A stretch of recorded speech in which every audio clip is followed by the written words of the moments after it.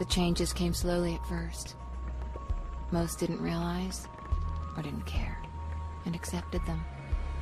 They chose a comfortable life. Some didn't.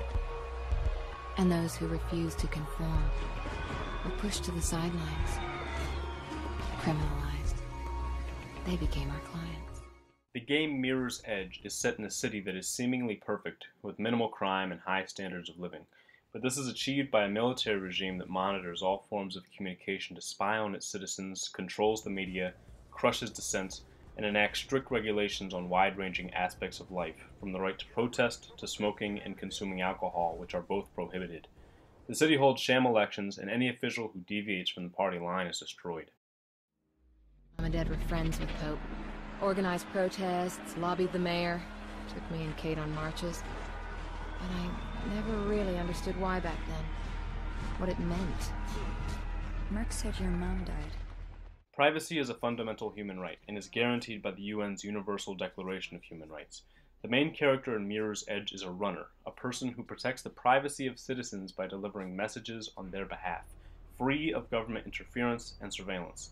In our modern world, government surveillance of citizens by way of technology has grown substantially in almost all societies and has led to massive privacy rights violations across the globe. Kate?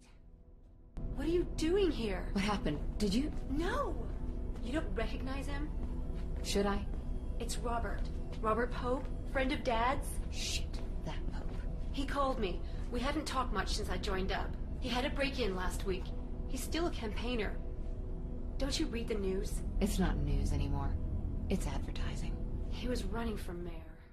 Authoritarian regimes generally present the facade of democracy while purging party members who deviate from the right mode of thought. We have seen this recently in Turkey, where over 100,000 people have been arrested, detained, or fired from Turkish political, academic, judicial, and economic sectors.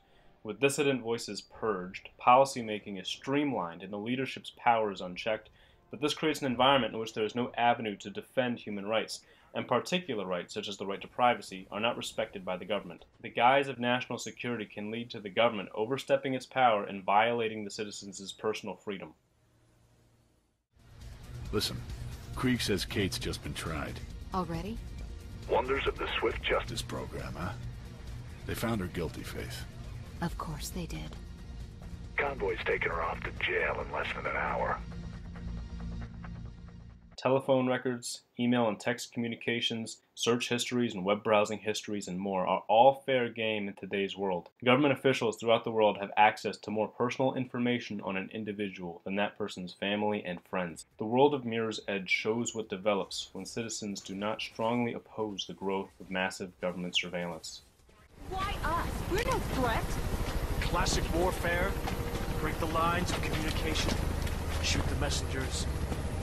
Without Pope, and without the runners, your clients. Those who just won't let go of the old city will be cut off. Vulnerable. And this city can clean up the last of its dregs. So this is just the start. I prefer to think of it as an end.